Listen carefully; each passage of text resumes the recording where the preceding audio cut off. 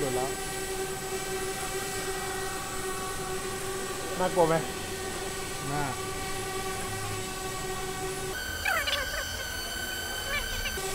ส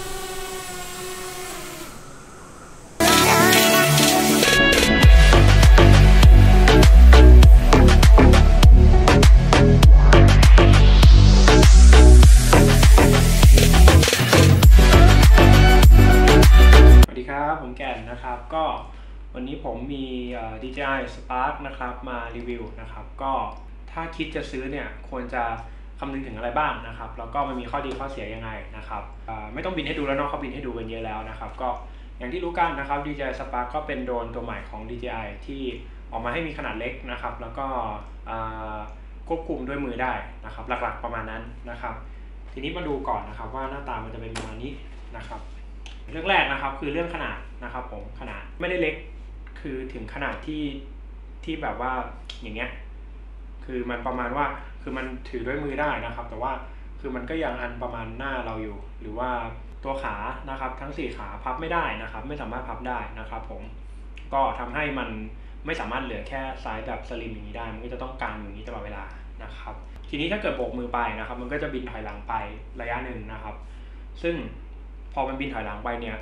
เราไม่สามารถถ่ายวิดีโอได้นะครับ เราสามารถใช้ท่าเนี้ยในการถ่ายรูป ในการถ่ายรูปได้อย่างเดียวนะครับ ก็ถ้าเกิดอยากจะถ่ายวิดีโอนะครับ ก็ต้องต่ออ่า Wi-Fi เข้ากับตัวโดรนนะครับ แล้วก็ควบคุมด้วยมือถือหรือรีโมทแบบปกตินะครับ ก็คือสรุปแปลว่าใช้เกเชอร์แบบเนี้ยถ่ายวิดีโอไม่ได้นะครับ ถ้าคิดที่จะซื้อนะครับต้องคำนึงถึงอะไรบ้างนะครับคำนึงถึงก่อนว่า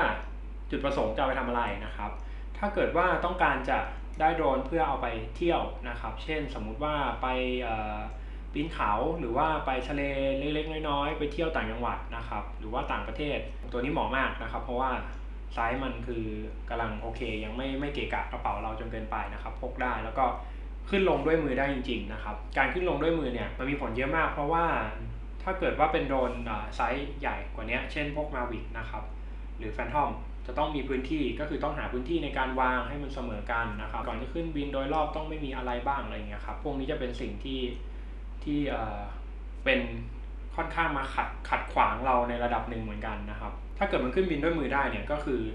เรื่องพื้นที่ในการขึ้นเนี่ยเราก็ตัดออกมาได้เลยนะครับสมมติเราพายเรืออยู่ในทะเลสาบอย่างนี้แล้วเราอยากจะถ่ายรูปตัวเองหรือถ่ายวิดีโอเราก็แค่เอาขึ้นจากมือก็ขึ้นได้ยกตัวอย่างประมาณนี้นะครับ หรือว่าเป็นภูเขา นะครับขึ้นไปถึงยอดเขาแล้วอยากถ่ายก็ไม่มีที่จะเอาโดรนขึ้นก็ขึ้นด้วยมือได้นะครับมาวิกหรือแฟนทอมเนี่ยขึ้นด้วยมือได้เหมือนกัน แต่เขาไม่ได้ออกแบบมาให้มันปล่อยจากมือเพราะฉะนั้นความอันตรายมันก็จะมีอยู่ในตรงนั้นนะครับ แต่เนี้ยเขาออกแบบมาให้ปล่อยด้วยมือได้ มันก็จะปลอดภัยกว่านะครับสรุปก็คือถ้าเกิดจะใช้ไปเที่ยวเนี่ยตัวนี้เหมาะนะครับ แต่ว่าอย่าลืมว่าถึงแม้ไซส์มันจะเล็กขนาดนี้ก็ตามนะครับ มันไม่ได้เล็กถึงขนาดที่ในชีวิตประจำวันเราสามารถพกไปใช้งานได้ไม่เหมือนกล้องนะครับนึกง่าย ๆ สมมุติว่า บางคนเนี่ยซื้อกล้องแล้วก็ต่อให้เราทำงานทุกวันที่ออฟฟิศหรืออะไรเงี้ยแล้วเราไม่ได้ไม่ได้ไปเที่ยว เราก็ยังพกกล้องถูกไหมครับ มันก็ยังติดตัวเราได้ แล้วก็เวลานึกอยากจะหยิบขึ้นมาถ่ายมันก็จะถ่ายได้ แต่อันเนี้ยมันไม่ใช่นะครับผมมันไม่ใช่ว่าเราพกโดรนไปทุกที่ในเมือง สมมุติอยู่ในกรุงเทพพกโดรนไปทุกที่ไปที่ออฟฟิศอะไรเงี้ยแล้วเราเอาขึ้นบินถ่ายกับเพื่อนเล่นในออฟฟิศหรือว่าเดินอยู่ที่ตลาดแล้วอยู่ดีอยากใช้โดรนอย่างเงี้ยครับมันมันก็ไม่ขนาดนั้นนะครับ เพราะอะไรนะครับเหตุผลนะครับ อย่างแรกเลยนะครับ เสียงมันดังนะครับ เสียงไม่เบานะครับ เสียงดังใช้ได้เลยก็คือใบพัดมอเตอร์ทำงานเนี่ยมีเสียงเป็นแบบวู้เหมือนเสียงโดรนทั่วไปนะครับ อย่างที่สองคือมันไม่ได้เล็กถึงขนาดที่ไม่เป็นอันตรายกับใครเลยนะครับ ก็คือว่าด้วยน้ำหนักแล้วก็ด้วยแรงของมันเนี่ยถ้าเกิดมันหล่นใส่ใครหรือถ้ามันชนอะไรเข้าเนี่ย แล้วก็มันมันแบบตีมั่วเนี่ยมันก็คือก็เจ็บนะครับเลือดออกได้ ก็คือมันมีความอันตรายในระดับหนึ่งนะครับ ที่ไม่ควรจะใช้กับ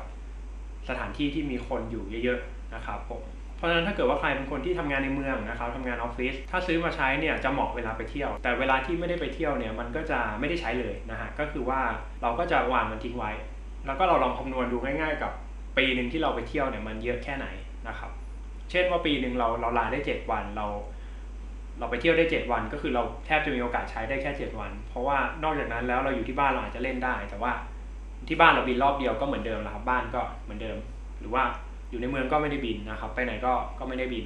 ต่อให้มันบินขึ้นมาได้จริงๆเนี่ยพื้นที่ถ้ามันน้อยเนี่ยมันก็ไม่รู้จะถ่ายอะไรอยู่ดีใช่ไหมครับเพราะฉะนั้นโดรนเนี่ยก็ยังเป็นอะไรที่เหมาะสำหรับคนที่ได้ออกไปหลาย ๆ ที่นะครับเพราะฉะนั้นเราก็ต้องคำนึงถึงเรื่องนี้ไว้ด้วยนะครับ ว่าว่าเราจะได้ใช้มันบ่อยจริงๆไหมแต่ถ้าเงินไม่ใช่ปัญหานะครับก็ไม่เป็นไรถูกไหมครับเพราะว่าบางคนสมมุติว่าซื้อมาแล้วปีหนึ่งไม่ได้ใช้เลย ใช้อยู่แค่ครั้งสองครั้งก็มันก็เสียดายตังค์ใช่ไหมครับ ทีนี้มาเรื่องของคุณภาพนะครับคุณภาพของภาพและวิดีโอนะครับผมถ้าเกิดเป็นคนที่เที่ยวเนี่ยแล้วก็อยากถ่ายวิดีโอเล่นๆ หรือภาพเล่นๆ เพื่อให้ได้มุมที่แปลกตาเนี่ยก็ไม่ต้องคำนึงเรื่องนั้นนะครับ เพราะว่ามันเกิน standard มาในระดับหนึ่งแล้ว คือคุณภาพของภาพกับวิดีโอเนี่ยมันอยู่ในระดับที่เอาไปลง Facebook หรือ YouTube อะไรพวกนี้โอเคแล้วครับแบตเตอรี่เนี่ยก้อนหนึ่งเนี่ยครับบินได้ประมาณ 10 กว่ากว่านาทีนะครับ12ถึง15อะไรประมาณนี้ครับถ้าบินจริง ๆ แล้วก็บินด้วยความเร็วหรือว่าต้านลมหรือว่าขึ้นสูงหรืออะไรเงี้ยครับก็จะลดลงนะครับ ซึ่งทำให้เวลาที่เราใช้สปาร์กจริงๆเนี่ยมันก็ค่อนข้างเครียดนิดนึงสำหรับมือใหม่นะครับ เพราะว่าสมมุติว่าเราขึ้นไปด้วยมือนะครับ ก็คือกดปุ๊บแล้วมันก็ขึ้นไปถูกไหมครับต่อ Wi-Fi นะครับเพื่อจะควบคุม เราก็คิดว่าเราจะบินไปไหนดี เสร็จปุ๊บเราก็ปรับค่ากล้องนะครับ แล้วเราก็ลองบินขึ้นไปดูทั้งหมดนั้นนะครับ ก็ประมาณ 4-5 นาทีแล้วสำหรับมือใหม่นะครับที่จะตื่นเต้นด้วยเพราะมันบินอยู่หรืออะไรเงี้ยครับเอาเข้าจริงๆเวลาที่เราสามารถเล่นได้จริงๆก็เหลือแค่ประมาณ6ถึง7นาทีนะครับแต่ว่าเรื่องนี้พอเราใช้ไปสักพักมันก็จะชินนะครับแล้วก็เราก็จะขึ้นเร็วขึ้นนะครับแล้วก็ปรับอะไรได้เร็วขึ้นนะครับผมเซนเซอร์นะครับผมตัวนี้มันมีเซนเซอร์ข้างหน้านะครับคือจับหน้าเราได้อะไรอย่างนี้นะครับแต่ว่ามันไม่มีเซนเซอร์ที่ด้านหลังเลย เพราะฉะนั้นถ้าเกิดว่าซื้อไปใช้มาตอนแรกเนี่ยก็ต้องถ้าซื้อไปใช้ช่วงแรกเนี่ยก็ต้องระวังนิดนึงนะครับว่าเวลาเรา บอกมือแล้วมันถอยหลังไปเนี่ย มันจะไม่มีอะไรที่คอยดูว่าข้างหลังมีอะไรไหมนะครับ เพราะฉะนั้นถ้าเกิดมีต้นไม้หรือว่ามีอะไรอยู่ก็ตามเนี่ยมันก็จะถอยหลังแล้วก็ชนเลยนะครับผมประมาณนี้ครับหวังว่าคงจะช่วยตัดสินใจได้คร่าวๆว่า ว่าควรจะซื้อดีไหมว่าเหมาะกับตัวเองไหมนะครับ แล้วก็อย่าลืมนะครับว่ามันก็ยังเป็นโดรนอยู่ มันก็ยังมีความอันตรายอยู่นะครับ ก็ ให้ทุกคนบินด้วยความระมัดระวังนะครับ แล้วก็คำนึงถึงความปลอดภัยเป็นหลักนะครับผมก็วันนี้ขอบคุณมากครับ ไว้เดี๋ยวมีโอกาสจะมารีวิว หรือว่าพูดคุยเรื่องอื่นเพิ่มนะครับ ขอบคุณครับสวัสดีครับ